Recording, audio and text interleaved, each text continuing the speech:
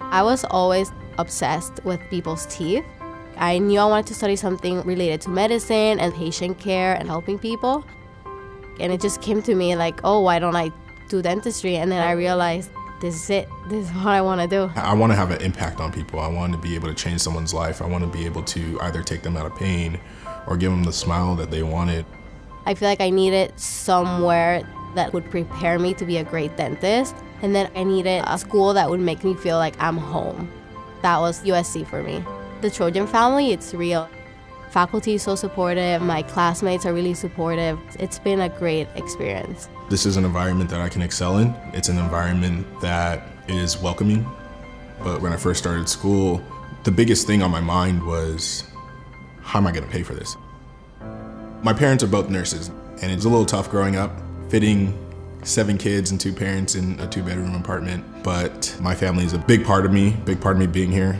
My whole family was behind me. They're like, you can do this and we'll figure it out. When I received the Colby Scholarship, I was ecstatic, honestly. I immediately called my family. It kind of felt like we all got that scholarship and I can honestly say it's changed my life. It's changed my family's life. With all that's happening back in Puerto Rico, I don't want my parents to like worry about me. And when I found out I got the Jimenez Family Scholarship, I was so happy. I was so ecstatic. Now I don't have to think about that financial burden.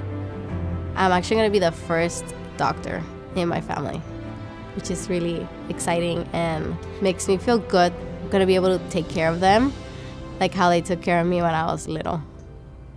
The single most important job of the Friends of Dentistry, the premier support organization for the School of Dentistry, is to support the scholarship program here in Ostrow.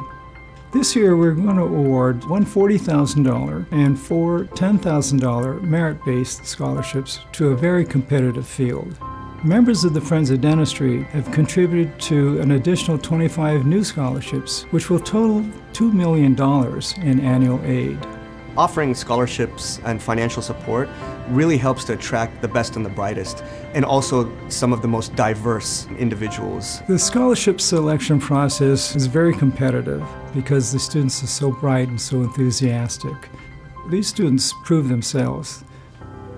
The first time I went to one of the scholarship dinners and heard the students' stories, that was really inspiring for me. Just seeing how far people can go, I thought, oh my gosh, I want to do that. I want to support student scholarships. I grew up to parents that didn't speak English, were taking like night classes, working multiple jobs each. They were immigrants from Iran. They were escaping a country in revolution. So for me, I was taught the value of school and studying to better my life and opportunities. So scholarships were absolutely key for me to be able to actually stay in school, eat some weeks. And that's why I think they can actually be transformative and help people change their lives.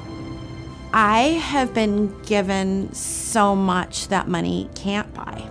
Truly, I know it sounds cheesy, but I kind of was raised here, you know, raised professionally by people that I didn't even know were feeding my soul.